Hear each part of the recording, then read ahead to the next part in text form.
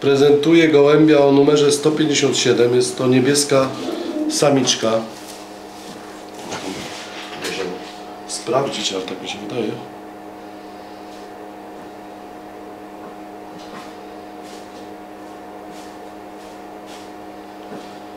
Tak, 100%, 100% niebieska samicza, samica, e, wywodząca się z gołębi od strony ojca, to jest gołąb o numerze 37, gołąb, który wywodzi się z gołębi e, Rudiego Dilsa i, i gołębi Fuchsenwolf, ale zakupiony z hodowli Fuchsenwolf.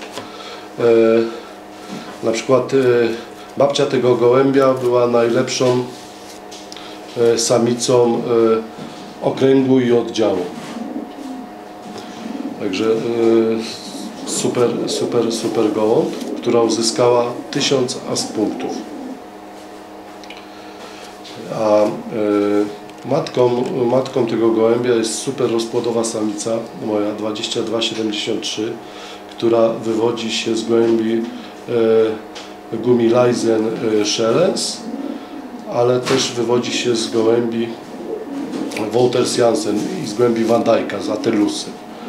Także Atelusa to jest e, córka wnuka kanibala.